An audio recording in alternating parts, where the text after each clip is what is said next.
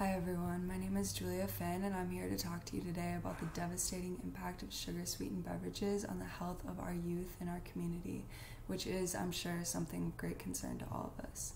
So, first of all, I just want to start out by emphasizing the prevalence of this problem in Hawaii with a study that found that in some Hawaiian communities, more than 40% of children as young as kindergarten are overweight or already even obese. And this is no small matter. According to another study, childhood obesity is associated with lower quality of life and higher risk for many serious, potentially life threatening comorbidities. And this is relevant to sugar sweetened beverages because studies have found that sugar sweetened beverages are the number one source of added sugar in children's diets today, and that this added sugar is directly correlated with obesity.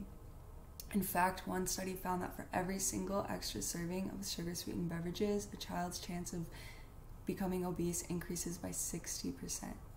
This is why it's so important that we take action against this problem. And one way we can do this is by instituting a policy that mandates higher standards for the sale of all beverages in all of our restaurants, schools, supermarkets, and any other commercial establishments, which would include the elimination of all sugar sweetened beverages and a free cup of water with each meal.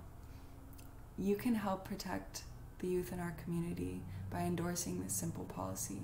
So I urge every single one of you to reach out via email, telephone, or mail to Governor Ige and explain why it's so important that we start taking the dangerous effects of sugar sweetened beverages seriously and implement this policy as soon as possible.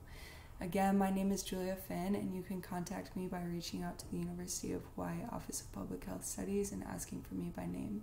Thank you for your time.